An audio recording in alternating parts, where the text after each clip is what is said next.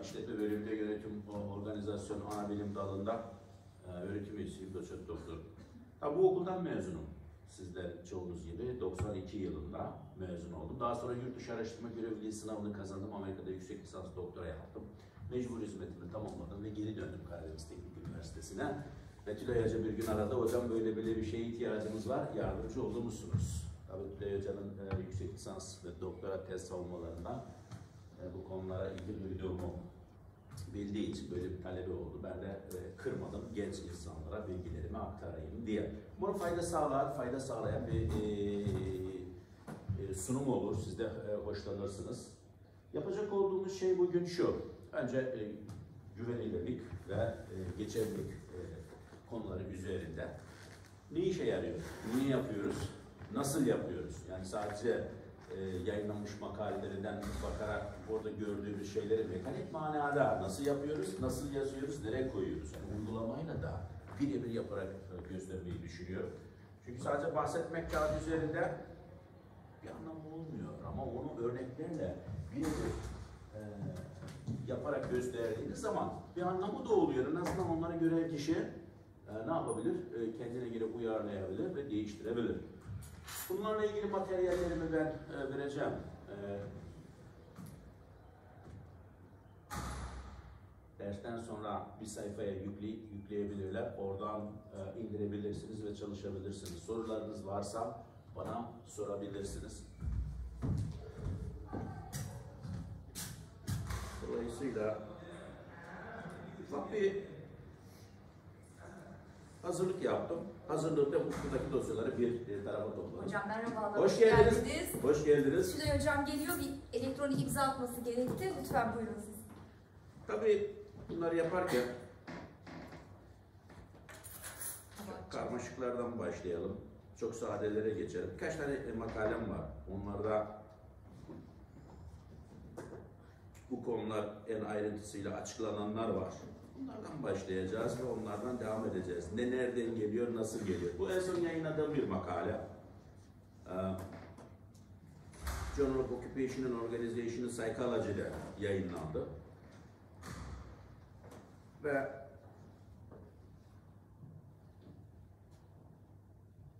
önce güvenilirlik konusuna geleceğim de e, oradan bir giriş e, yakalamaya çalışıyorum. Çok yapısal bir şey olmasından daha ziyade. Evet geliyoruz. E, ölçme kısmında araştırmanın metot e, kısmında ölçekleri yayınla e, şey yapın diyorlar, açıklayın diyorlar araştırmalarda. Bakın burada ne diyor? Ölçeceksiniz diyor. Ölçün diyor. Neyi ölçeceğim? Measurable ölçme demek. Ölçüyorsunuz. Neyi ölçüyorsunuz? Normalde hayatta ölçebilecek olduğumuz pek şey, çok şey var değil mi? Bir metre alıyoruz, boyumuzu ölçüyoruz. Doğru mu? Bir tartının üzerine çıkıyoruz, kilomuzu ölçüyoruz. Ölçmeden önce ne yapmamız da gerekiyor? Emin olmamız gerekiyor. O tartı doğru tartıyor mu? Benim gerçek kilom 80 iken gerçekten o 80 kiloyu doğru tartıyor mu? Bilmem lazım bunu. Metre eğer e, mesure biraz eskimişse de 1 metrelik mesure 1.20 metreyi gösteriyorsa o zaman sizin yaptırdığınız tele, televizyonluğun boyu bu kadarken bu kadar oluyor. Yani yanlış ölçüyor. Ne yapmanız lazım? Metre, mesure, tartı, her neyse kullandığınız ölçeği, ölçünün doğru tartması gerekiyor. Doğru ölçmesi gerekiyor. Ne olursa olsun. Benim bundan emin olmam lazım araştırmacı için. Eğer niyet ettiğim şeyi doğru ölçemiyorsam sonucunun hiçbir manası yok. Neyi ölçüyoruz? Özellikle benim çalıştığım biraz davranışla ilgili alanlarda ve diğer alanlarda da kullanılıyor bu. Neyi ölçüyorum? Bakın burada bazı ölçekler var. E, İşte insan sermayesi ile ilgili şeyi ölçüyorum, yapıyı ölçüyorum. Ondan sonra neyi ölçüyorum? Bak buraya getirmişim, alfa değerini koymuşum. Nokta 78. Bunu burada görmediği zaman e, hakemler e, çıldırıyorlar. Nereden bileyim diyor senin ölçeğin geçerli. Haklı, ben de gördüğüm zaman senin alfa değerin nerede diyorum.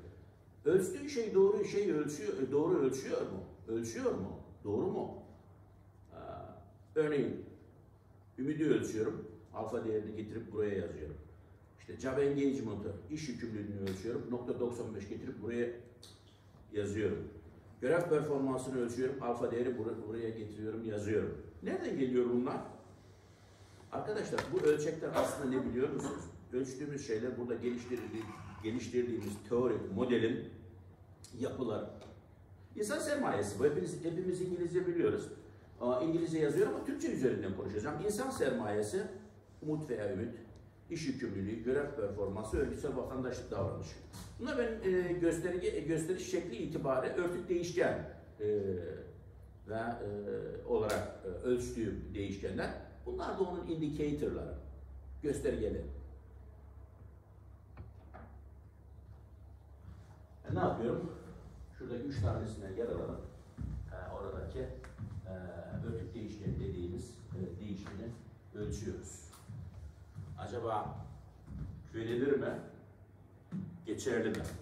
Şu modeli test edeceğim. Yapısal olarak test etmeden önce değil mi? Ölçme modelini de test etmem gerekiyor ki hem bireysel manada güvenilirlik var mı, ölçekleri güvenilir mi?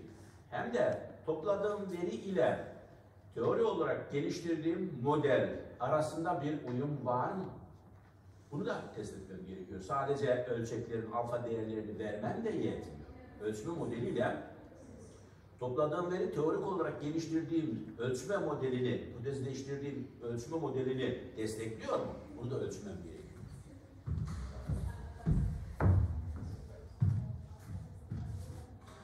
Az önce gösterdiğim e, ölçekler neyi ölçüyor her biri? Bir tanesi insan sermayesini ölçüyor, öteki ümidi ölçüyor, öteki iş yükümlülüğünü ölçüyor. Bunları nereden alıyorum? Bunları nereden alıyorum biliyor musunuz? Daha önce e, yapılan araştırmalarda bu tür e, ölçeklerin güvenilirliği ve geçerliliği sağlanıyor.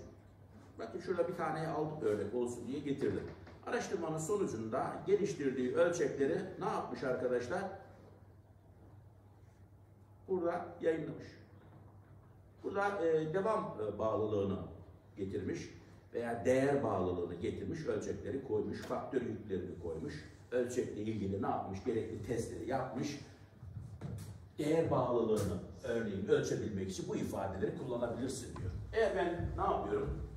Ee, araştırmamda kullanabilecek olduğum yapılardan bir tanesi buysa tercüme ediyorum. Ee, geriye tercümeyle, Bristol'in yöntemiyle ne yapıyorum? Türkçe'de kullanılabilecek bir hale getiriyorum.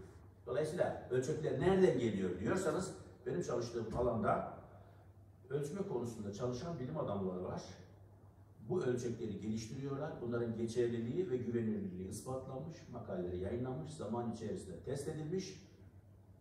Bu yapıyı test ederken kullanabilecek olduğunuz ölçü aracı, aracı haline getirilmiş bir yapı. Dolayısıyla bunlardan bir tanesini seçiyorum. Ne yapıyorum? Bununla ilgili anket sorularına anketime e, koyup, veri toplayıp bunları güvenilirliğini ve geçerliliğini test ediyorum. Bireysel manada güvenilirlik testleri yapıyoruz. Biraz sonra göstereceğim. Alfa. Ondan sonra sadece o yetiyor mu? Yetmiyor. Composite reliability dediğimiz kompozit güvenilirliği de yapmamız gerekiyor. Özellikle yapısal eşitlik modellemesinde veya çok değişkenli analizlerimizde ki sadece tek başına kullanmak yetmiyor. Yani sadece güvenilirliğin tek başına e, ölçmek yetmiyor. Bir bütün olarak da ölçmeniz gerekiyor. Modeldeki tüm değişkenleri dikkate alarak. Tane örnek göstereyim size. Belki kafanız karıştı. Buraya kadar sorusu olan var mı? Aklınızda bir şey varsa onu burada da sorun. Yolumuzu öyle devam edelim. Burada e, benim e, makalemde örneğin şurada bir tane şeyimiz var. Bir tane vereyim e, örnek. Örneğin e, 75'i nereden geliyor? Değil mi? Bir ölçek kullandım. Yazarı buradan e, ölçeğin aldım tercüme ettim veya tercüme edilmiş bir ölçeği kullandım. İşte cevap kategorilerini birden kaça kadarsa yazdım. Alfa değerini verdim. Nereden geliyor bu değer? Güvenilirliğin en basit değerini biz hesaplarken hesaplama yöntemlerimizden bir tanesi şurada hazırladığım bir dosyayı açayım. Nasıl hesaplıyorum? O değer nereden geliyor? Tek başına güvenilirliğini hesaplayacağım ölçeği. Nereden geliyor? Onu sizinle oturalım, hesaplayalım. Nasıl geliyor? Ben nelere dikkat ediyorum? Niye dikkat ediyorum? Bana ne gibi bir e, fayda sağlıyor? Nokta 70'ten daha azsa Nanelli 1971, 70 veya 71. Nanelli. Nunnelli diye yazılıyor İngilizcesi. Diyor ki 70'ten aşağıysa diyor problem olmaya başlar diyor. Özellikle denenmiş ölçeklerde 80'den aşağıysa nokta 80'den 1 ile 0 ile 1 arasında değişiyor. 1'e yaklaştıkça güvenilirlik artıyor. 0'a yaklaştıkça güvenilirlik azalıyor. Nokta 70 önemli bir nokta. Yeni geliştirilen ölçeklerde nokta 70, tekrarlanan ölçeklerde nokta 80 diyor. Ama araştırmalarda nokta 68, nokta 67, nokta 69 e, güvenilirlikleri de görüyorum. Ondan ne diyor ki nokta 70'ten az olmaya başladığı zaman bu problem olmaya başlıyor. Tartın doğruyu tartmıyor diyor sana. Buna dayanarak araştırma yapma diyor. Bize söylediği o. Bunu buraya yazmamız gerekiyor. Nereden geliyor? Ee, geçmiş yıllarda toplanan bir veriyi kullanacağım. Bir kısmını kestim, attım, değişkenleri değiştirdim. Derste kullanabileceğim, burada sizlere sunum yapabileceğim bir hale getiririm. Bunlar nereden geliyor? İşte az önce gösterdiğimiz ankette sorduğumuz sorulara verilen cevaplar. Bazen ben bunları parselleme yapıyorum, biraz daha küçültüyorum ama normalde olduğu gibi kullandığım şeyler de var. Mesela aynısı E1 ile E5'e baktığımız zaman anketlere verilen cevaplar. 4 de yazabilirdim, 4.00 da yazdım. Hiçbir şey ifade etmiyor. Yani birisi orada 4 işaretle, birisi orada 4'ü görüyorsunuz. En basit az önce gösterdiğim alfa güvenilirliği nasıl hesaplıyorum? Çok basit. Şurada ölçek diyoruz. Scale diyor. Ölçek demek. Reliability analiz, güvenilirlik analizi diyoruz. Bastığım zaman ne yapayım? E1, E2'nin güvenilirlik analizi alfa değerlerine şuraya atıyorum. Statistics diyorum. Ben hepsini işaretliyorum. Kolaylık olsun diyor. Sonra e, ne olduğunu gider e, çalışırsınız, e, öğrenirsiniz. Bastım buraya. Alfanın çok çeşitleri var. Split alf, Gartman, paralel, strict paralel. Bizde sosyal bilimlerde e, ihtiyacınız doğrultusunda hangisini kullanmanız gerekirse onu seçin. SPSS anlatmayacağım burada, ders anlatmayacağım ama çok farklı güvenilirlik olabilir ama sosyal bilimlerde genellikle bizim kullandığımız alfa testi. Cronbach alfa diyorlar ona. Yani kullandığım bir ölçeğin tek başına güvenilir olup olmadığını test edeceğim bir ölçek. Okey diyorum ve bana bazı sonuçlar veriyor. Bakın buraya geldiği zaman 250 tane örneğim var mıydı? Evet 250 tane örneğim var. İki tane sonuç veriyor bana. Nokta 851, nokta 854. Bu değerler 0 ile 1 arasında değişir. Az önce bahsettiğim ne olduğu zaman. Nokta 70'ten yüksek olmasını arzu ediyorum ben. E, Nanelli öyle söylüyor. Nokta 85, nokta 85. Getiriyorum ne yapıyorum? Az önce gösterdiğim şu araştırmamda eğer bu E1 hangi değişkense oraya alfa eşittir nokta 85 nokta 81 yazıyor. Buradan geliyor. Bu bana ne söylüyor ölçme olarak? Hey bunun alfa değeri nokta 85'tir nokta 70'ten yukarıda olduğu için sen buna güvenebilirsin diyor bana. Buyurun. Hocam E1'den E5'e bir kadar olan soru faktör mü temsil ediyor? Evet. E, ne diyelim ona? E diyelim ki ümit olsun. Farklı ifadeleri soru soruyorsun. Beş tane ifadenin ne yapıyor? Hepsini kullanmak suretiyle bunlar arasında e, sen e, evet, beş tane ifade soruyor. Biri de içsel tutarlılığı ifade ediyor. Yani hocam bir şey söyleyeceğim ben. Bunların hepsinin ortalamasını alıp da yani ölçtüğümüz faktörü tek, te- yani tek bir faktöre indirip o şekilde almak mı doğru, bu şekilde hepsini ayrı ayrı mı almamız gerekiyor? Evet, çok güzel bir yere geldi. Şimdi arkadaşlar biz güvenilirlik analizi yaparken birden fazla ifadeyle olduğu zaman güvenilirlik analizi yapıyoruz. Buradaki ifadelerin e, ankette veya ölçekteki ifadelerin hepsini soruyoruz. Orada onlara gelen cevaplar hepsini bu şekilde giriyoruz ve bu şekilde bir ölçek için farklı ifadeler olsa bile güvenilirlik hesaplıyoruz. Senin söylediğin şeye geleyim. Sen şuraya diyorsun. Ya ben analizlerde beş tanesini kullanmak zorunda mıyım? Doğru mu? Sen onu soruyorsun yapısal analizlerde. Şöyle söyleyeyim, siz o 5 soruyu analizde kullanmıyoruz biz. O 5 sorunun indirgendiği faktörü kullanıyoruz diye biliyorum. Anladım. Gözlenen bu değişken... faktörü tek bir değişkenin mi leşenin şey güvenilirliğini hesaplayacağız? Biraz geç geldin. Ee, bir model gösterdim, orayı kaçırdım. İki şekilde de kullanabilirsin. Adın neydi? Denizhan. Denizhan. Ee, Denizhan Tiryaki. İki şekilde kullanabilirsin. Bir tanesinde dikdörtgen kutucuklarla gösterdiğim e, zaman o e, arkadaşlar gözlenen değişkeni ifade eder. Deniz Han'ın söylediği gibi beşini topluyorsun, ortalamasını alıyorsun veya topluyorsun hepsini. O toplamı da kullanabiliyorsun. Ortamı da, e, ortalamayı da kullanabiliyorsun. Ben ortalamayı kullanıyorum. Çünkü yapısal eşitlik modellemesinde şeyi kullandığınız zaman, e, toplamı kullandığınız zaman birisi çıkıyor 90, birisi çıkıyor 70 yapısal e, modellerde bir sürü hata veriyor. Biraz sonra göreceğiz hataların neler olduğunu. Örtük değişkenlerde evet ama e, pardon gözlenen değişkenlerde söylediğin doğru. Örtük değişkenlerde e, hayır. E, hepsini de kullanabiliyorsun. Örneğini ben sana yapısal kullandığım e, e, araştırma modelinde göstereyim. Örneğin, örneğin yapısal modelde kullanırken ne yaptım? Hepsini ben e, kullandım. İşte buyur. Örgütsel vatandaşlık davranışını ölçmek için 5 tane gösterge kullandım. Deniz Han. Sen bunu görmedin. Az önce gördüm de özellikle sormak istedim hocam. Şunu kutucuk olarak, dikdörtgen olarak kullandığı zaman hocam hoş geldiniz. Kusura bakmayın hocam imzalı kişiler vardı zorunlu katılım. Haberlerde arkadaşlar. Buyurun. İki şekilde kullanabiliyorsun. Örgüt değişken olarak kullandığın zaman OCB'yi, örgütsel vatandaşlık davranışını, göstergelerin hepsini kullanabiliyorsun o şekilde. Ama e, e, gözlenen değişken şekilde kullandığın zaman ortalamasını ben alıp kullanıyorum. Toplamını da kullanabilirsin o ifade. Başka var mı sorusu olan? Sorunuz geldiği zaman sorun. Aklınızda bir şüphe kalmasın. Aydınlat, aydınlat da sonuna kadar gidelim. Ben neye bakıyorum burada e, hesaplamaları, sonuçları şey yaparken? Burada birkaç şey var. Şu, tabii şunu rapor ediyoruz. Şunu veya şu ikisi de birbirine çok yakın çıkıyor. Hangisini isterseniz rapor edebilirsiniz. E, isteğinize bağlı. Burada ortalamaları veriyor. Her bir e, ifadenin ortalamasını. Standart sapmasını ve 250'yi. Düzeltilmiş şey mi biz burada orada arka diye hocam? Bir daha söyle. Düzeltilmişini mi yazacağız biz yoksa sondakini mi yazacağız?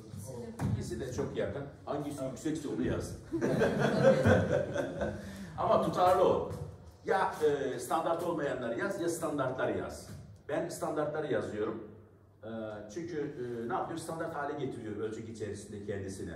Ama tutarlı ol. Ya standart olmayanları yaz ya e, standart olanları yaz ama hep bir, bir tanesini yaz. Tamam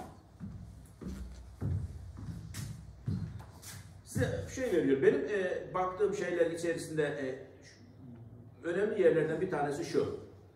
E, ifade e, şey e, delete edilirse, atılırsa e, şey e, mı? e, alfa değeri yükseliyor mu yükselmiyor mu? Özellikle bu hemen bakıyorum ha bazen ters reverse question'lar var. Ters çevirmen gereken question'lar. Bazen ne yapıyorsunuz? Unutuyorsunuz. E, oraya geldiğiniz zaman size hey bunda bir hata var. Unutmuşsun onu. E, git geriye düzel. Bir daha ölçeği kontrol et diyor size. Oraya bir bakın. Ortalamalara bakın. Tabii veriyi analize hazır hale getirene kadar pek çok aşamadan geçiyorsunuz ama ne yapıyor bir yerde e size uyarıda bulunuyor. E burada bir hata var, bunu düzelt. Nedir bu diye. Değil mi? Dolayısıyla e, şeylerde e, güvenilirliklerine baktığımız şey ama burada yaptığımız şey tek başına. Bakın bir ölçeği değerlendirdik burada. Neydi? E diyelim o e, ölçeğe. Sadece E'yi değerlendirdik. Ama E'nin diğerleriyle de yapısal modelde değil de ölçme modelinde ilişkisi var. Bu tek başına yeterli değil. Onun için araştırmacılar diyor ki siz diyor aynı zamanda kompozit güvenilirliğine de bakmanız lazım diyorlar. Doğrulayıcı faktör analizi sonucunda elde ettiğiniz değerleri getirin. kompozit güvenilirliği hesaplamada kullanın. Onun da nasıl olduğunu, nerelerde olduğunu göstereceğim. Onunla ilgili programı da vereceğim arkadaşlar. İnternet sitesine koyarlar. Yazılımları, her şeyi e, oradan e, istediğiniz zaman, ihtiyacınız olduğu zaman kullanabilirsiniz. Bu aşama tamam mı? Bir ölçeğin güvenilirliği ile ilgili aşamada sorunuz varsa onları cevaplandırayım. Yoksa bir sonraki adıma geçeceğim. Buyurun. Benim e, yüzde yetmiş hususuyla ilgili bir sorum var. Ben, Buyurun. e, e, bir tane kitapta psikolojik bazı ölçeklerin yüzde elliye kadar da yani alfanın yüzde elliye kadar e, kabul edilebilir olduğuna dair bir ifade okudum. Gerçekten de dergilerde makale yayınlatırken bu tarz ölçeklerde yüzde yetmişin altında indiği zaman hakemlerin tavrı çok mu keskin oluyor yoksa psikolojik daha e, daha soyut kavramlara ilişkin ölçümlerde %70'in biraz da olsun altı kabul edilebilir bir eğilimde oluyormuş. Şimdi şöyle söyleyeyim, benim karşılaştığım bir şeyler tabii ki pek çok şeyle karşılaşıyoruz süreç içerisinde. Ee, en büyük saldırıların geldiği yerlerden bir tanesi bu tür davranışsal araştırmalarda örgütsel davranışta insan kaynakları yönetiminde adam diyor ki senin ölçeğin e, yeterince test edilmemiş. Saldırdığı direkt nokta kalbine. Senin tartın yanlışsa araştırma çöp diyor. Anladın mı? Yani 69 bile Yok yok öyle bir şey yok. Öyle cut-off kesin sınırı yok. Az önce bahsettim araştırmalarda. 69'da, 68'de, 67'de rapor ediliyor. Ama onun altına düşmeye başladığı zaman büyük ihtimalle rapor edilmiyor. Ee, o zaman hakimler diyor ki bu güvenilmez diyor. Anlaşıldı. Teşekkür ederim. Ama %50'yi hiç duymadım. Öyle bir şey Bazı özel araştırmalarda, özel konularda olabilir ama evlilik kabul edilebilir bir şey değil. Ama istisnalar İstisnai olabilir, olarak özel, özel bir durumu olabilir. Ona da itiraz etmiyorum. Çünkü bazı özel şeyler oluyor ki olabiliyor. Hocam güvenirliğe bakmadan önce bir varsayım var. Bunu Nasıl? bu analize geçmeden bir varsayım var. Onu verilere bakayım. Bakalım yani Anladım. Ee, normal dağılım gibi. assumptions'ları mı soruyorsun? Varsayımları mı soruyorsun? Onu Evet diyorsun? var mı? Tabii yani e, arkadaşlar e, varsayımlar içerisinde ne olması gerekiyor? Aynı türden olması gerekiyor. Şimdi burada 1, 1, 5, 1, 7, 1, 8 ölçeği kullanmış, kullanıyorum. Bunların hepsinin aynı şekilde e, ölçülmesi gerekiyor. Mesela bir tanesi 0, 1 ile ölçmüşsün. Değil mi? İfadelerinden bir tanesi 0, 1 ile ölçmeyecek. İfadelere verilen e, cevap kategorileri aynı olacak. 1, 8. Birincisi o. İkincisi bunların şeyine bakmak gerekiyor arkadaşlar. Bunlar e, normale yakın bir şekilde mi dağılıyor yoksa çok mu normalden uzaklaşma var? Çarpıklık, basıklık, çarpıklık e, artı eksi 2, basıklık artı eksi 3'ten büyük mü küçük mü onlara da bakmak gerekiyor. Bunlara da bakın. Eğer e, gerçi e, bir sonraki kompozit güvenilirlikte onlara da bakıyoruz şeylerde. Bakmanda fayda var. Söylediğin e, assumption'ları var mı? Evet yani oradaki e, ne diyoruz? E, işte e, normallikle ilgili e, şeyleri fazla uzaklaşmaması gerekiyor. Çünkü büyük, büyük ihtimalle e, formüllerini e, şey yaparken belirli e, varsayımlara dayanıyor. Onlara göre hesaplıyorum. Sorduğun eğer buysa, daha Evet spesifik evet sorun hocam varsa mesela e, normal dalmasa bu e, anal- analize gidebilir miyiz? Yapabilir miyiz? Burada onunla ilgili sana e, şey vermiyor, e, alfa ölçeğinde seçenek vermiyor. Öyle olduğu varsayılıyor. Sen önceden veriyi hazırlaman gerekiyor en azından. E, ne yapman lazım? İşte ya transformasyon yapman lazım veya kompozit reliability anlatırken biraz sonra göreceğim. Oradaki lambda değerlerini hesaplarken estimation, tahmin yöntemini değiştiriyoruz. O problemler olduğu zaman başa çıkmak için. O soruna cevap geliyor. Sabır. Teşekkür. Tamam. Ama burada yapmıyor. Ama diğer e, tahmin yöntemleri var. Bilmiyorum onlar da e, e, tahmin yöntemine göre farklı şeyler yapıyor. Çünkü ben onları hiç kullanmıyorum. Az önce e, onları ifade ettim mesela. Alfada farklı mı diyorsunuz? Şunları diyorum. e, e, şunları diyorum bak. Şuradaki tahmin yöntemlerini ben kullanmıyorum. E, şunların içerisinde e, o e, ihlal ettiği zaman bunları kullanman lazım onları bilmiyorum. İlgilenmiyorum çünkü bana çok uzak şeyler. E, çünkü e, yaptığım hesaplamalarda o söylediğini hesaba kattığım bir hesabı biraz sonra göstereceğim.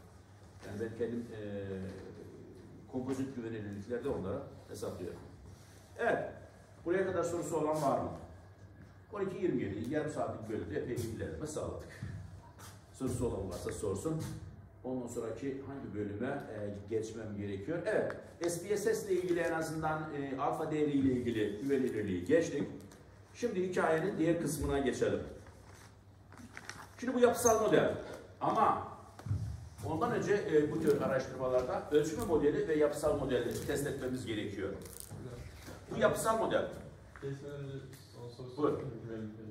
Hocam eee bu bizim anketteki sorularımızla ilgili m, daha çok hangisine ilgili güvenilirlik analizi yapmamız gerekiyor? Hepsi. Bugün anlatacak olduğumun hepsini baştan aşağı yapmak zorundasın. Eee, orada spesifik yani eee, kişisel sorulara güvenlik analizi yapıyor mu yapmıyor mu? Ya da Direkt ankette belli bir konuyla ilgili e, bu güvenlik analizi yapmamız gerekiyor? Onun. Söyleyeceğim şimdi bak burada sadece bir ölçüye yapıyoruz. Alfa testi yapıyoruz. Az önce de gösterdim. Görev performansı dedim mesela hop dedim, ümit dedim. Tamam mı? Burada yaptığımız tek bir ölçüye. Hepsine değil. Şimdi hepsine doğru hareket ediyorum. Onu anlatacağım.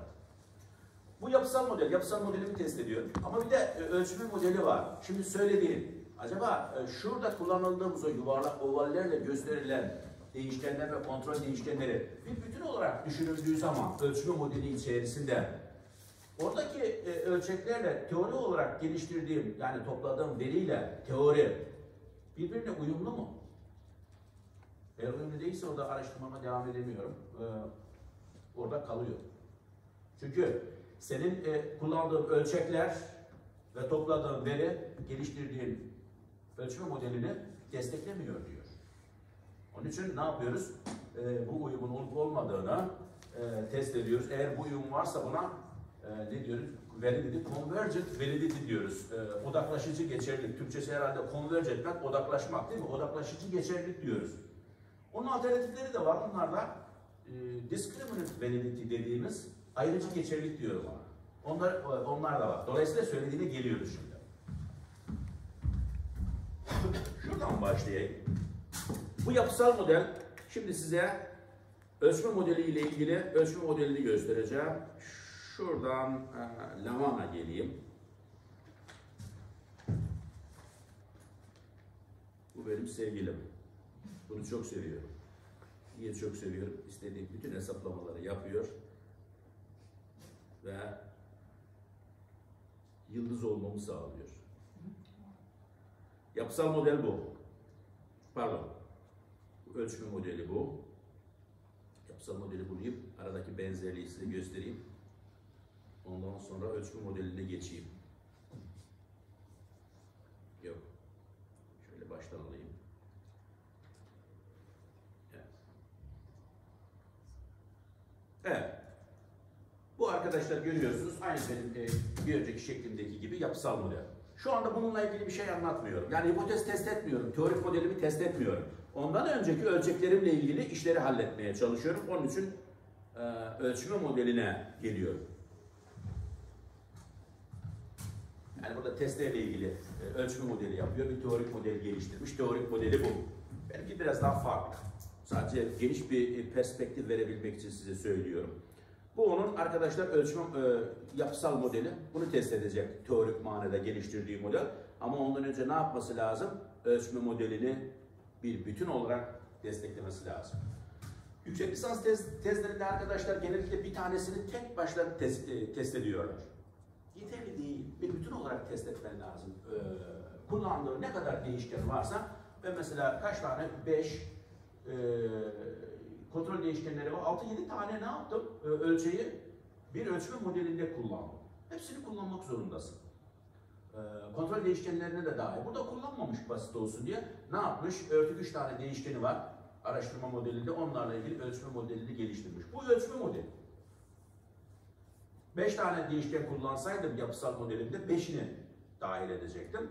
Ve ölçme için kullandığım, toplandığım veri, geliştirdiğim teorik modeli, ölçme modelini destekliyor mu, desteklemiyor mu diye onu ölçecektim.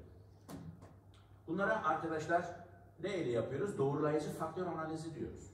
Exploratörü değil, keşfetmeye yönelik faktör analizi genellikle daha çok geliştirilen ölçeklerde kullanılıyor ama mevcut kullanılan ölçekleri alıp araştırmanızda kullanıyorsanız diyor ki doğrulayıcı faktör analizi yapın, doğrulayın. Gerçekten e, topladığınız veri ölçme modeli olarak geliştirdiğiniz teoriyi destekliyor mu, desteklemiyor mu? Desteklemiyorsa probleminiz var demektir.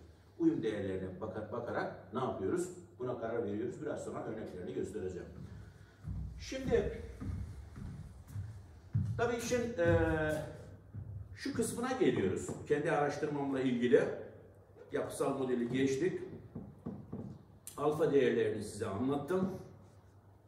Diyor ki ölçme modelini geliştir ve ölçme modelini sun. Bu araştırmamda ilk önce bunu sunmamıştım. Çok karmaşık geliyor. Yapılması da bayağı zor. Herhalde 10 defa yaptım çünkü bir yerde bir hata yaptığın zaman baştan aşağı tekrar yapmak zorunda kalıyorsa. Çok karmaşık geliyor ama çok basit. Ama bunu bu hale getirene kadar, anlayana kadar insanın göbeği çatlıyor, onu söyleyeyim ben. Yazılım metodu bilmek zorundasın, istatistiği bilmek zorundasın, e, ya, e, sonuçları nasıl yorumlayacağını bilmek zorundasın. Hepsini bir, bir araya toplamak zorundasın ki ne yapabilesin? E, sonuca ulaşabilesin. Bakın burada ilk satırı. Bunları vereceğim size sana. Çekmene gerek yok. Ee, bunlar ben Bir şey hepsini... söyleyebilir miyim? Şimdi Buyurun. baştan beri toplantıda olunca arkadaşların biraz daha dikkatini toplamak adına hocamın zannediyorum ben önce güvenilirlik Roma Kalfa'yı detaylı olarak ele aldı. Şimdi hocam geçerliliği anlatıyor. Aslında biraz önce söylediği nokta çok kıymetli. Biz güvenilirliği iki şeyle ölç- ölçüyoruz öyle değil mi hocam? Bir doğrulayıcı faktör analizi, bir de normal bizim kullandığımız SPSS'deki faktör analizi.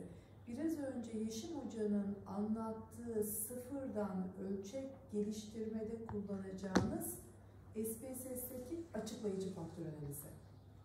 Ama başka yerlerden anket aldık. Biz mesela 3 tane alt boyut belirledik. Bunları da 10'ar tane soruyla ölçtük. Acaba Amerika'da 10 soruyla ölçülen boyut Türkiye'de de ölçtüğümde aynı boyutu 10 soruyla ölçüyor muyum diye burada da doğrulayıcı faktör analizini kullanıyorsunuz. Zannediyorum şu an Hocam şu anda evet anlatacağım. biraz biraz açıklık getirdiniz. Hı. Biz şimdi yaptığımız araştırmada kullandığımız ölçeği başkasının çalışmasında geliştirilmiş ölçeği tercüme, Türkçe tercüme yöntemiyle alıp kullanıyoruz. Hazır daha önce de geliştirilmiş bu. Do- e, keşfetmeye yönelik faktör analizleri yapılmış, doğrulayıcı faktör analizleri yapılmış. Artık bir araştırma, araştırmacının e, kullanımına hazır hale getirilmiş halini kullanıyoruz biz. Ama bundan önce şimdi psikoloji içerisinde sosyolojide e, biz benim çalıştığım örgütsel davranış alanında ölçek geliştirmeye yönelik measurement diye ana bilim dalları var. Onların yaptığı şey sadece bu ölçekleri geliştirmek. Ölçek geliştirirken hem e, keşfetmeye yönelik faktör analizini hem de doğrulayıcı faktör analizini yapmak zorundasınız. Biz tabii kullan, geliştirilmiş, test edilmiş ölçekleri kullandığımız için doğrulayıcı faktör analizi yapmaya çok daha önem veriyoruz. Özellikle benim çalıştığım alanda öğrenci arkadaşlar hep baş, daha önceden geliştirilmiş, güvenilirliği ve geçerliliği sağlamış ölçekleri kullanıyorlar. Bu artık standart hale geldi. Kimse yeni ölçek olmadığı zaman keşfetmeye yönelik e, faktör analizini istemiyor. Aynı değiller, formülleri farklı. Bana diyor doğrulayıcı faktör analizi sonuçlarını gönder diyor. Çünkü daha önceden çok geliştirilmiş, ispatlanmış bu. Niye daha keşfetmeye yönelik sonuçlar gönderiyorsun ki diyor. Ve doğrulayıcı faktör analizi daha zor, daha katı kuralları var e, hesaplamayla ilgili. Çünkü e, indicator'ların yani oradaki her ifadenin standart hata e, pardon hatalarını da hesaplamaları dahil ediyor. Açıklayıcı oldu mu hocam? Başka sorunuz var mı? Ben onların sadece dikkatini çekmek istedim. Çünkü aynı tartışmayı bir daha tekrar etmeyeceğim. Biraz önce tekrar ettik. Geliştirmeli bir geliştirilmemeli. Hocam da biraz orada farklı düşünüyordu ama ben biraz benim tarafımı çekmeye başladım onu. Ondan sonra dolayısıyla o tartışmanın devamı şimdi hocam da bir kısmından aldığı için onu açıklama ihtiyacı duydu. Ama yine de ikisini de hibrit kullandığınızda doğrulayıcı faktör analiziyle de gerçekten yüklendi mi yüklenmedi mi bakıyorsunuz. Buyurun Sayın Hocam, sağ olun. Şimdi e, ölçme modeli biraz e, geçerliliğe e, geçtik şimdi. E, odaklaşıcı geçerlilik ve e, ayrıcı geçerlilik konusu üzerinde duracağız. İlk hatta bak, önce bunun ne işe yaradığını doğrulayıcı faktör analizi ne yapıyor? Bir farklı ölçme modellerini karşılaştırıyoruz. Birinci hat çok önemli. Hipotezleştirdiği model. Şu hat önemli. Ee, ne yapabilirim ben burada? Şunu kullanabilir yok. Highlight yapıp şurayı sarıya bo sarıya boyayabilirim. Başardım mı bilmiyorum. Evet burası. Bu ne demek biliyor musunuz? 5 tane 5 faktör modeli. 5 faktör modeli şu. Kaç tane kullandım ben buradan? 1, 2, 3, 4, 5. O faktörleri bir bütün olarak değerlendiriyorum. Topladığım veri geliştirmiş olduğum e, teorik olarak e, ölçme modelini destekliyor mu, desteklemiyor mu onu ölçüyorum. Eğer desteklemiyorsa yapacak bir şeyim yok, araştırmam hiçbir yere gitmez, orada kalır. Çünkü verim teorimi desteklemiyor.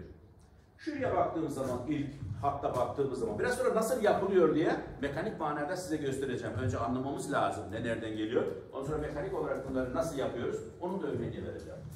Ne var burada? İki kare var, df var, Serbestlik derecesi P değeri 2 kare ve df bölünüyor. Ee, işte uyum indeksleri veriyor. CFI, IFI, TLI, GFI, SRMR, e, root mean square error of, of approximation hepsini söylemedi bunu söyleyeyim bildiğimi anlayın diye. Ee, e, yani Türkçesini de biliyorum e, onu söyleyeyim. Ee, ve güven aralığını e, CF ve e, delta chi-square df p değerleri var. Şimdi bunlar ne işe yarıyor? Uyum. Karenin p değeri anlamlıysa işiniz yaş demek. Bazı araştırmacılar diyor ki Kanada'da bir tane profesör var. Tam çılgın bir adam yapısal eşitlik modellemesi konusunda. Orası diyor e, eğer e, anlamlıysa orada problem var diyor. Demek ki senin topladığın veri diyor teorik modelini desteklemiyor. Buranın anlamlı olmaması gerekiyor. Diğer taraftan öteki araştırmacılar da şey yapıyorlar, bağırıyorlar ona. Diyorlar ki ya böyle bir şey olmaz. Ee, e, o da diyor ki e, uyumsuzluk vardır, uyuma bakmanız lazım diyor. Hipotezi ona göre kurmuşlar burada. Anlamlı olması işimize gelmiyor. Yani onun detay oraya girmek istemiyorum. Ama anlamsız olması bizim işimize geliyor. Burada ne var? Bu çalışmamda 69 anlamlı, e, anlamsız çıkmış. Bu topladığım verinin teorik modelimi, ölçme modelimi desteklediğini gösteriyor. Ama pek çok araştırmamda da çıkmıyor. Onları da aynı şekilde rapor ediyorum. Hepsini rapor ediyorum ki sonraki araştırmacılar görsün ne olduğu, e, onların işine yarasın diye rapor ediyorum. Bazı araştırmacılar diyorlar ki e, e, Çıkarın hesaplanması ve oradaki P'nin hesaplanması n'e bağlı olduğu için n'e bağlı olarak değişiyor. Onun için onu büyük e, örneklerine o anlamsız, anlamlı çıkıyor, küçük örneklerde anlamsız çıkıyor. Onun için fazla dikkat etmeyin diyorlar ama o Kanada'daki bilim adamın e, ismi aklıma, e, dilimin ucunda aklımda e, gelince aklıma söylerim size abi. Çok büyük bir münaka- müzakere var diyelim, bir tartışma var, kavga değil de bu konuda.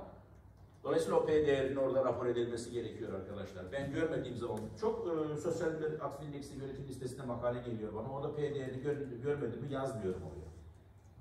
Niye saklıyorsun ki? Uyanıklar saklıyorlar. Ben saklamıyorum. Sonunda belki de birisinin işine yarayacak. Bilimle uğraşıyorsun. İki kare anlam çoğu zaman anlamsız çıktığı zaman P değeri anlamlı çıktığı için daha sonradaki bilim adamları farklı uyum indeksleri geliştirmişler. CFI, IFI, TLI, GFI. Ee, normalde şuradaki C- e, CFI, IFI, TLI nokta .90'dan az olmaya başladığı zaman topladığın verinin ölçme modelini desteklemediğini gösteriyor. Problemim var diyor. Git araştır problemin ne diyor. Eğer düşükse araştırmaya devam etme diyorlar. Ve şurada kullanılan RMSA nokta 08, SRMR nokta 08 bunlar bire ne kadar, e, sıfıra ne kadar yakın olurlarsa iyi. Ötekiler de CFI, IFI, TL, TLI, GFI, SR, e, GFI ne kadar bire yakınsa o kadar iyi. Ötekiler ne kadar sıfıra yakınsa o kadar iyi. Bire yakın olanlardan nokta 90 ve yukarısı iyi. Sıfıra yakın olanlardan nokta 08 ve aşağısı iyi. Uyum olduğunu gösteriyor. Eğer bu uyum değerlerine sahipseniz ki orada e, zaten makale yayınlamalarının sebeplerinden bir tanesi de uyum değerlerinin çok iyi olması. Oradaki P'nin de e, anlamsız olması topladığım verinin geliştirdiğim teorik modeli desteklediğini gösteriyor. O zaman devam etmeye başlıyor. Eğer diyebilirsin ki hocam e, eğer desteklemeseydi ne olurdu? Yani ben pek çok araştırmayı çöpe attım. Onu da çöpe atar yoluma devam ederdim. Oluyor. Araç bilim dünyasında bu var.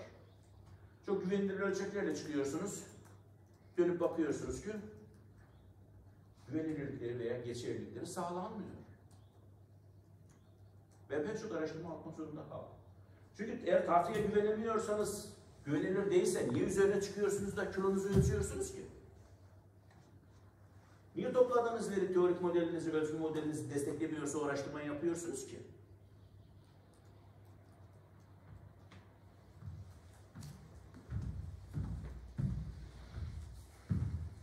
Sorusu olan varsa sorsun arkadaşlar. İngilizce bilginizi varsayıyorum. E, Türkçesini istiyorsanız söyleyin onlara da söyleyelim. Geçerlilik konusunda, validity konusunda convergent validity dediğimiz odaklaşıcı geçerlilik işte e, bununla sağlanıyor. buradaki ilk satır. Buradaki uyum değerleriyle. Eğer uyum varsa topladığınız veri ölçme modelinizi destekliyor, araştırmanıza devam edebilirsiniz diyor. Biraz sonra bunların nasıl teker teker hesaplandığını ayrıntılarıyla size anlatacağım. Bunların e, internete koyarım onları oradan e, alırsınız. Hiç e, çekmenize zahmet, fotoğraf çekmenize gerek yok. Ben e, veririm veya bana e-mail gönderin. Hepsini dersten sonra e-mail adresinize göndereyim. Bir, sıkıntı değil bunlar. Eğitim amacıyla bunları paylaşabiliyoruz.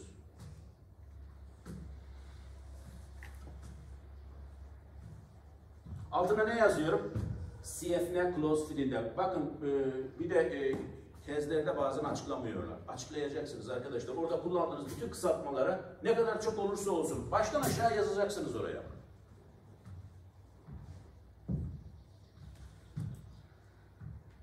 Biraz zahmetli oluyor. Çok insanın şöyle geliyor, bizi geliyor ama e, yapmak zorundasın. Bilimin şeysi bu. Çünkü sizden sonra gelenler ne yapacak? Buna bakacak, buna ne demişsin diye. Tabi başlığı da var tablonun. Şimdi işte 5 faktör, ondan sonra bir sürü 4 faktör modeli, 3 faktör, 2 faktör, 1 faktör modellerini de açıklamışız. Bunlar ne? Niye bu da hesaplamayı yapmışım? Ben ilk başta bu hesaplamaları yapmadım bu geri yapı makale teslim etmediğim zaman. O sondaki özetleri verdim. Oradakileri de göstereceğim. Bu- Bunlar uyanık e, hakimler. Bu tabloyu hazırla gönder dediler. Hazırladım gönderdim. Vardı zaten hazırlamıştım. 40 sayfadan fazla istemiyorlar dergilerde arkadaşlar. Standart 40 sayfa 41 oldu mu yüzünü ekşitmeye başlıyor. Kesmeye çalışıyorsun. Nereden kesebilirim diye. Diyorsun ki tabloyu vermeyeyim. Nasıl? Yırtarım ilk şeyde. Ee, ama hakemler yazınca hey tabloyu oraya yaz diye hemen e, zaten hazırlamışım hemen e, ekleyip gönderiyorum.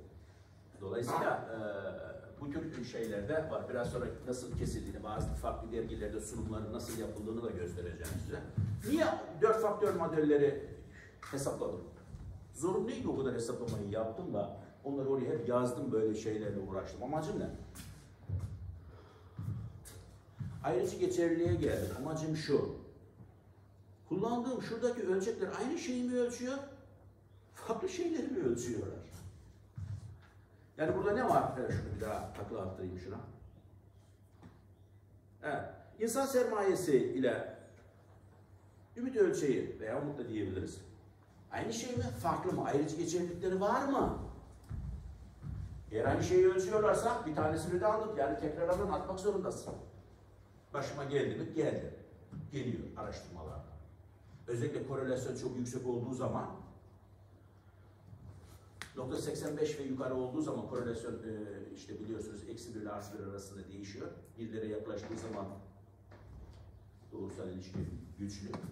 Sıfıra yaklaştığı zaman zayıf olduğunu gösteriyor. Nokta 85'ten artı eksi yukarı olduğu zaman ne oluyor e, biliyor musunuz? Ölçekler birbirinden farklı değil. Aynı ölçekmiş gibi e, kabul ediliyor ve o zaman ölçeklerden ikisini kullanamıyorsunuz. Bir tanesi e, çünkü fazla, gereksiz. Araştırmada kullandığım 5 tane ölçeğin birbirinden farklı olduğunu ispatlamak için 4 faktör modellerini yapmak zorundasın. Ve oraya sunmak zorundasın. Neyi yapmaya çalışıyorsun? Şuradaki ovalle gösterdiğimiz örtük değişkenlerin farklı şeyleri ölçtüğünü ispatlamak için yapıyoruz.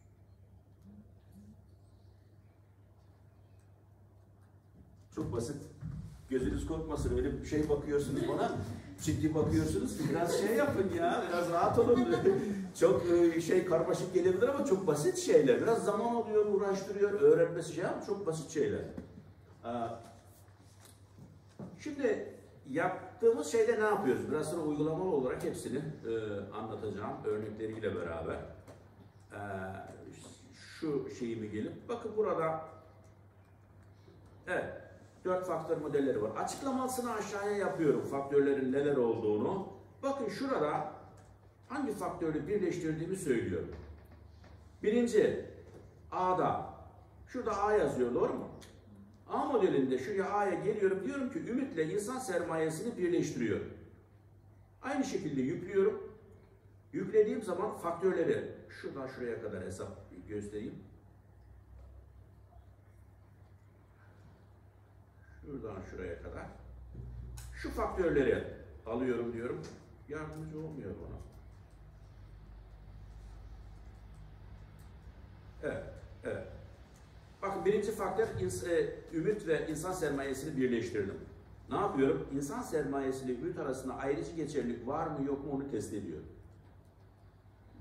Sonuçları getiriyorum, buraya yazıyorum. Doğru mu? Hangisinde uyum daha iyi? Sarıda mı mavi taralı olan yerde mi? 4 faktör modelinde mi, 5 faktör modelinde mi? 5 faktör modelinde daha iyi, doğru mu? Başlıyor biraz daha e, ikisini birleştirdiğimiz zaman uyum değerleri düşmeye. O zaman ne oluyor? Test ediyorum. Gerçekten istatistiksel açıdan bu farklılık anlamlı mı? Delta chi-square, df, df farklılığı orada delta df olması lazım. Çünkü df'ler arasındaki farklılığı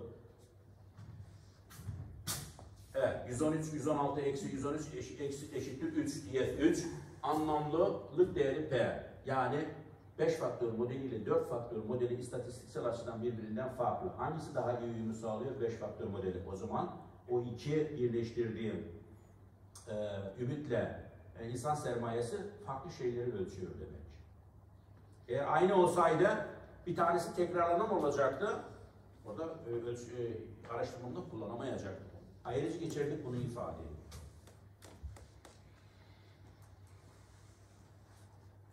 Hepsini yapmak zorunda mısınız araştırmanızda bunu? Arkadaşlar, e, bu araştırmada istilhamı ben e, çoğu araştırmamda sadece korelasyonları yüksek olduğu olan değişkenler arasında yapıyorum. Alıyorum, bakıyorum ki korelasyon nokta 70, nokta 60. Onlarla ilgili e, ayrıcı geçerlilik testleri yapıyorum. Korelasyon düşük olduğu zaman onların ayrı, ayrı, ayrıcı geçerlilikleri zaten oluyor. Yani hepsini hesaplayamaya, hesaplayacak mıyım? Öğrenci arkadaşlar yüksek lisans ve doktora da hesaplasınlar. Ondan sonraki yıllarda korelasyonları yüksek olanları hesaplasınlar. Rapor etsinler. Çünkü işi öğreniyorsunuz yüksek lisansla doktorada. Nasıl yapılıyor, niye yapılıyor diye. Ondan sonra da e, özetlemeye. Çünkü makale yayınlama aşamasına geldiği zaman 40 sayfa sınırını oraya koyuyor. Geçme diyor oraya. Ve ne yapıyorum? Diğer üçüncü modelde B'de farklı alternatifi birleştiriyorum. Ve böylece oradaki ilk modelimde e, gördüğümüz beş tane oval ile ilgili değişkenlerin birbirinden e, birbirinden ayrıcı geçerli olduklarını göstermiş oluyorum. Burada ne yaptım? Ne yapıyorum? Ayrıcı geçerlilikleri vardır diyorum ve hakimleri de okuyucuyla ikna ediyorum. Bu olmadan kimse ikna olmuyor artık. Bizim çalıştığımız alanlarda onu getir diyor, bunun sonuçları gönder diyor.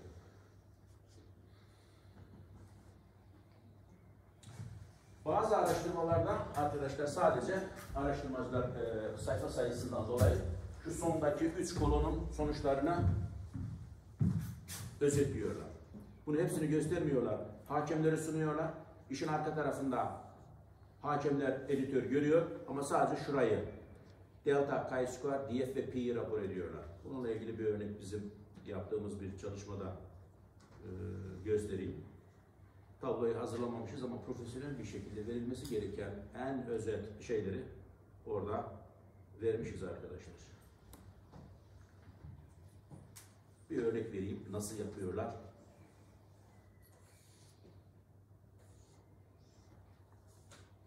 İlerideki yaşamınızda. Evet arkadaşlar burada.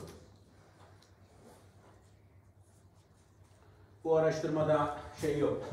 Tabloyu vermiyor. Çünkü hakemler istemiyor. Bana bunu ver diyor. Çünkü işin özü o. Korelasyonu yüksek olan değişkenler arasında ayrıca geçerlilik var mı? Uyum değerlerini veriyorsun. Odaklaşıcı geçerliliği birinci satırda, diğerleri de delta gördüğünüz yerlerde ayrıca geçerliliklerini, ölçeklerini göstermiş oluyoruz.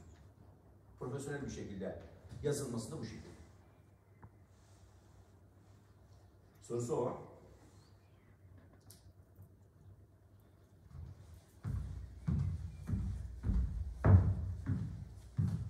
Tamam. Şimdi burada neyi söyleyecektik, neyi söylemeyecektik? Tamam bunlarla ilgili söyleyeceklerimi söyledim. Şurada neyi, e, bunları nerede yapacağız konusuna 16.53 yaklaşık 53 dakikadır. 3 dakika geç başladık. 50 dakikadır devam edin. Biraz e, sual al, e, alayım biraz.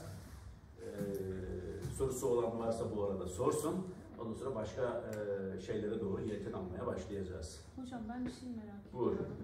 Şimdi e, geçerlilikle e, ölçemediğimiz ya da ölçmesini istediğimiz soruları e, atıyoruz da ölçmesini istediğimiz ama ölçmediğine karar verdiğimiz geçerlilikle soruları atıyoruz.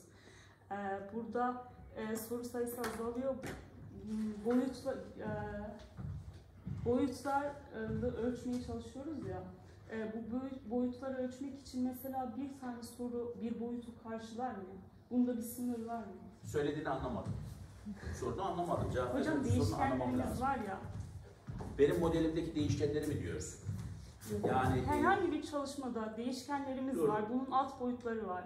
Geçerlilikle e, değişkenler var ve alt boyutları var. Bir örnek verebilir misin bana? Kafama iyi oturması lazım. Yanlış cevap verebilirim diye hocam çekiniyorum sorunu. mesela e, örgüt kültüründe kolektivizm var, güç mesafesi var, belirsizlikten kaçınma var.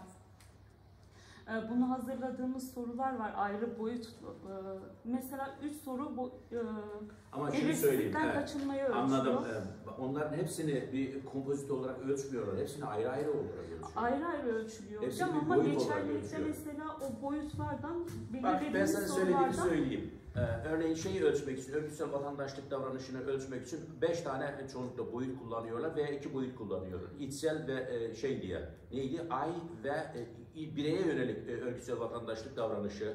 Birinci boyut. İkincisi organizasyona yönelik örgütsel vatandaşlık davranışı. İkisi de örgütsel vatandaşlık davranışı. İki tane alt e, boyutu var. O boyutlarla ilgili de 5-6 tane ifade var. Evet Doğru mu? hocam. Hı. O altı tane boyutla mesela boyutlarda be- e, belirlediğimiz sorulardan attığımız oluyor ya. Mesela Nasıl belirlediğimiz sorulardan attığımız oluyor. Çok dilerim, ben araya girebilir miyim? Buyurun. Hatice'nin ne dediğini anladım. Siz mesela bireysel vatandaşlık diyorsunuz ya. Hı, Siz bireysel vatandaşlığı ankette 6 soruyla ölçüyorsunuz. tamam. Ama geçerlik güvenilir sorunda 5'ini attığınız tek bir soru elinizde kaldı. Olmaz. Ha. Senin sorduğun Hatice öyle değil mi? evet hocam. Yani eğer eğer bir örgütsel vatandaşlık davranışını ölçmek için geliştirilen orijinal ölçekte 6 soru varsa 6 soruyu da oraya yazmak zorundasın. Oraya hesaplamalara dahil etmek zorundasın. Ettik Benim- ama geçerli ve güvenilir çıkmadı. Şimdi Biz şöyle söyleyeyim. Analizler sonunda bu bir tane de olmadı, ikiye indi. Ne olacak Yok, olmaz. Yani bir tane varsa benim yaptığım bir araştırmada kullandım. Olduğu gibi kullandım. Kullanman gerekiyor. Şimdi niye biliyor musun? Normalde soru çıkarmayın diyorlar. Eğer 6 tane varsa 6'yı da kullanın diyorlar. Çünkü sen o zaman orijinali, güvenilirliği ve geçerliliği ölçme aracını tamamen değiştiriyorsun. Tekrar veri toplayıp farklı bir araştırmayla onu tekrar güvenilir ve geçerli olduğunu 5 soruyla ispatlaman lazım. Ondan sonra onu kullanman lazım. İki tane farklı veri setinde bunu yapman lazım veya veri setini ikiye bölmen lazım. Çünkü zaten bu tartı.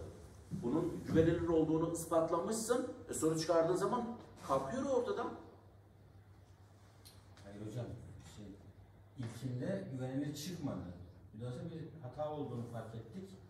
Bazı soruların anlaşılıp anlaşılmadığı, düzgün ölçüp ölçmediğine tereddüdümüz vardı. Çıkardık diyor. 6 taneden 4 tane kaldı. Ve kalan 5 sorudan yeniden kalacak. herhalde kesin. Bilim adamlarının söylediği şu. Sen bir tane soruyu çıkarmışsan ölçek değişti diyor. O kadar katılar.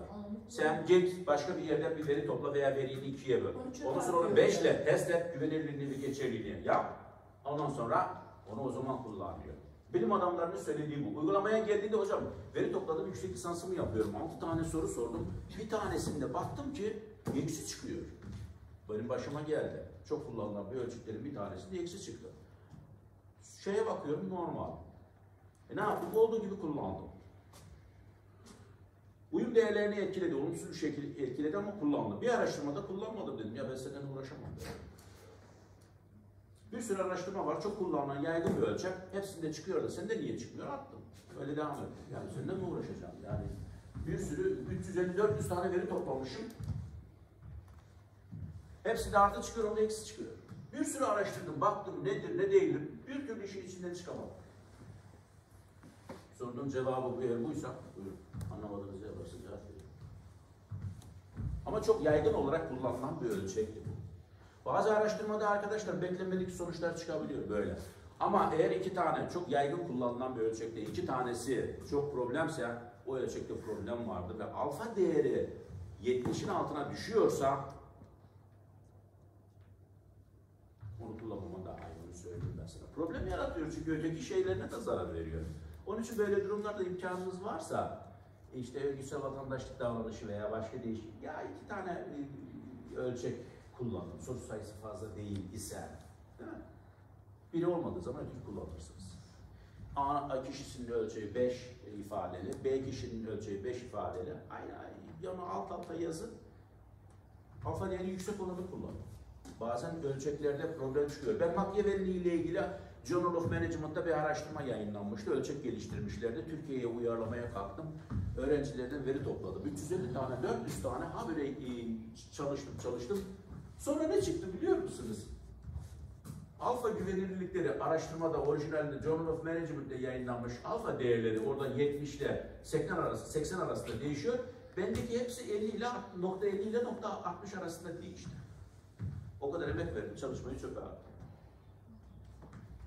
Yani senden daha kötü durumlara kalanlar var. Şimdi bu hesaplamaları nasıl yapacağız? Oraya gelelim. Saat 17, bir saate e, tamamladık. Saatten kullanacaksak ara verelim. Çocuklarımızın canını çıkardık bir daha. Ara istiyorsanız 5 dakika 10 dakika ara verin. 5 dakika nefes alsın eğer bir saat kullanılırsa. Tamam. 5 dakika ara verelim. Ondan sonra hesaplamalara geçiyoruz.